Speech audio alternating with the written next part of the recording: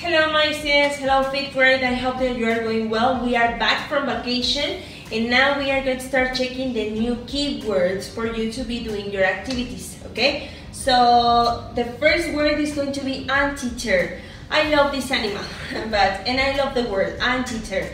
That is this uh, like little animal, well yes it's quite little and that it's going to eat ants. That one it's ant eater, okay? So yes, is this one, it's an anteater. Now, endanger. Endanger are some animals which, well, it's a description of the animals which are in danger of extinction, okay? They are up to be extinguished. For example, this wolf or this, the cheetah, no, that you know, these animals or this seal, no? These animals are endangered, okay?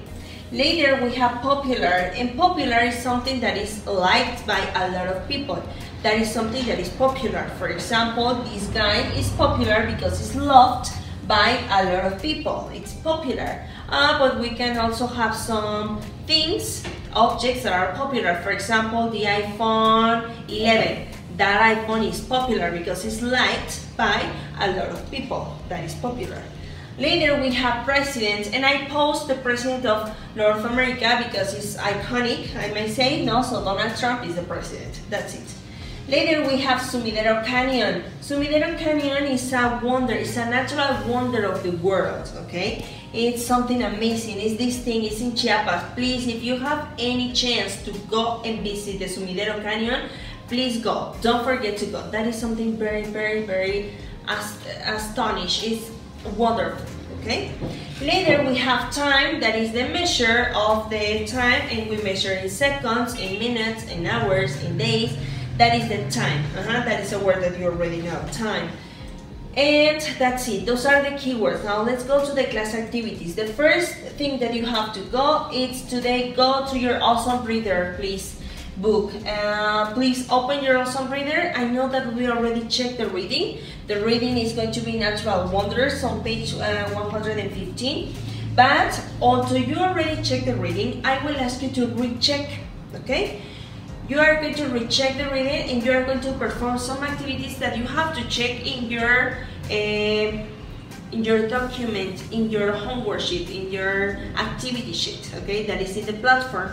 And now after you finish this, we are going to continue with the book. So let's continue. Please don't forget that we are going to be connecting in Zoom every day at 9 a.m. Uh -huh. You have in the in the activity, you have there the link of the things that I am going to present to you. So of the idea of the Zoom. So please enter to Zoom and we share there. If you have any question about the activities, I can help you.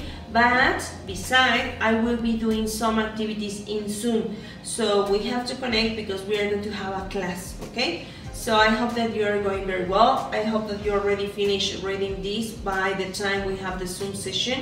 If not, don't worry, we can start chatting about. And remember that we have to continue with some book activities. So please continue with the video and pay attention. And after reading Natural Wonders in your awesome reader, you have to write in exercise 1 true or false and in exercise 2 to answer these questions, please okay according to the reading that you just read in your awesome reader remember. Okay in the next page we have now an activity that is going to get in teams we don't have team but we can do it with our relatives mother father whoever. Okay and we have to answer incomplete sentences. Later you have to prepare to convince about taking care of the natural wonders. Any wonder that you prefer please.